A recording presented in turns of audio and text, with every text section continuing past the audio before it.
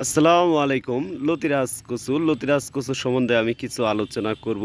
আমাদের যে অরিজিনাল লতিরাজ কচু সেটা লতি দেখলেই প্রমাণ পাবেন। আর এক একটা লতি দুই থেকে আড়াই হাত পর্যন্ত লম্বা হয়। এটি ভালো মানের একটি ফসল এই লতিরাজ কচু চাষ।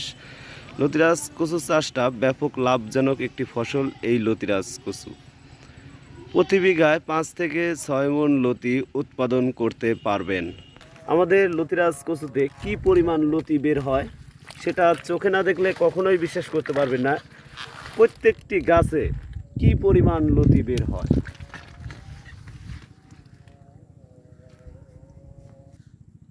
সেটা চোখে না দেখলে কখনোই বিশ্বাস করতে পারবেন না একটি গাছ থেকে কি পরিমাণ লতি বের হয় এবং ভালো মানের একটি ফসল এই লতিরাজ কচু চাষ।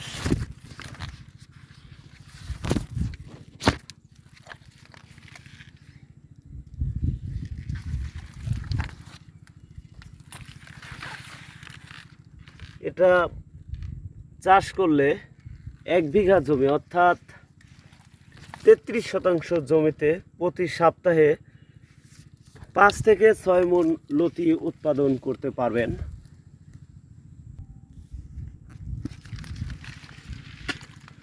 আর এক বিঘা জমিতে কচুর চারা লাগবে, চার হাজার দুশো চারা লাগবে।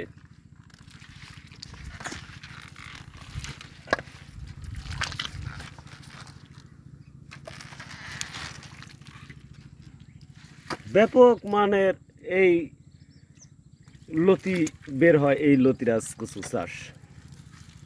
জমিতে, বিশেষ করে আপনারা লতিরাজ কচুর জমিতে ডিএবি সার ব্যবহার করবেন এবং ইউরিয়া সার ব্যবহার করবেন, মাঝে মধ্যে টিএসপি সার ব্যবহার করবেন। চোখে পড়ার মতো এই লতিরাজ কচুর জমিতে লতি বের হয়। এটা চোখে না দেখলে কখনোই বিশ্বাস করতে পারবেন না।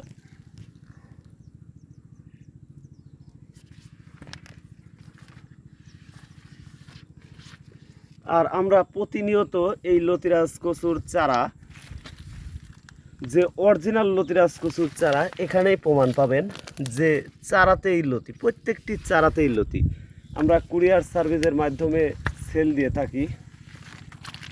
আপনারা যদি আমাদের কাছ থেকে চারা নিতে চান, সরাসরি অথবা কুরিয়ার সার্ভিসের মাধ্যমে যদি আপনারা নিতে চান, আমাদের সাথে যোগাযোগ করবেন।